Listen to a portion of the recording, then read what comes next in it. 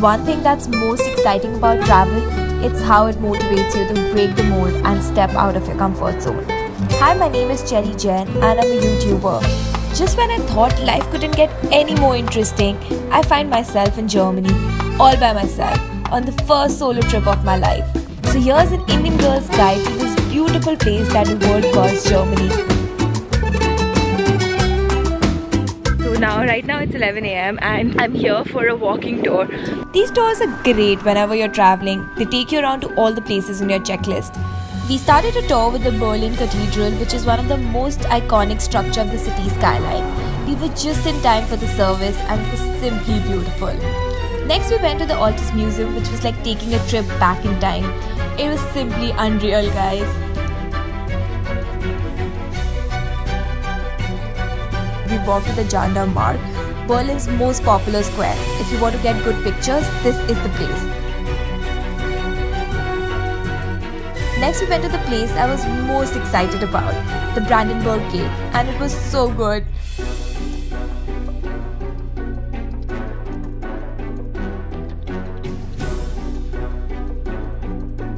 Okay, so after hours of strolling around, I finally reached the Christmas market. I really don't know how to pronounce this name, but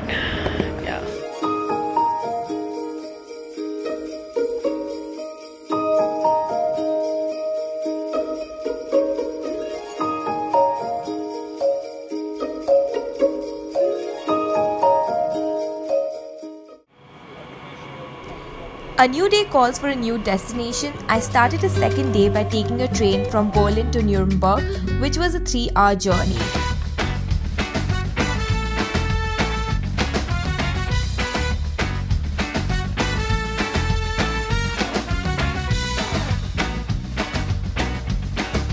So we have reached Nuremberg and it's 11 o'clock right now. The check-in is actually at 3 o'clock. So I've just left my bags and yeah, I'm ready to explore this town now.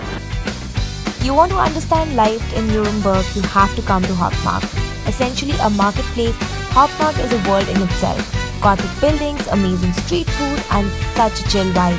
I literally spent the entire afternoon here. My evening in Nuremberg was one that I'll never forget. The town was all decked up for Christmas and I went to Christkindlmarkt, one of the biggest Christmas markets of Germany.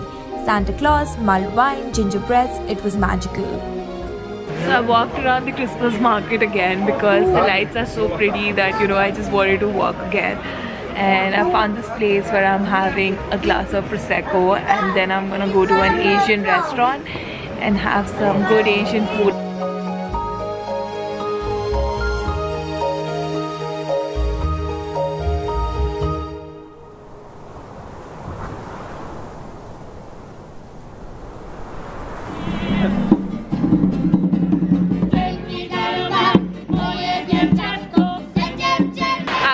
And it's 1 o'clock right now.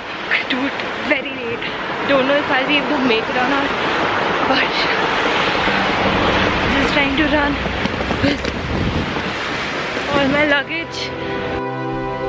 Well, I did end up making it on time and in about an hour I was in Munich. And since time was of the essence, I dived into city exploration right away.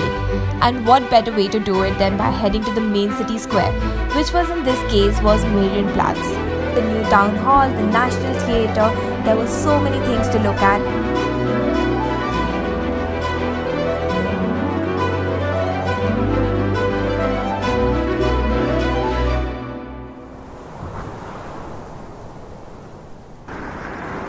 I'll be honest, before I actually reached Berlin, I was in two minds about all of this.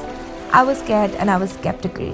But as I stood on the streets of Berlin, I realized that it had just been me holding myself back all this while. Because when you're out there, it's just you and a whole new world to explore. Find your world and take the plunge. I did it and I will never be the same again.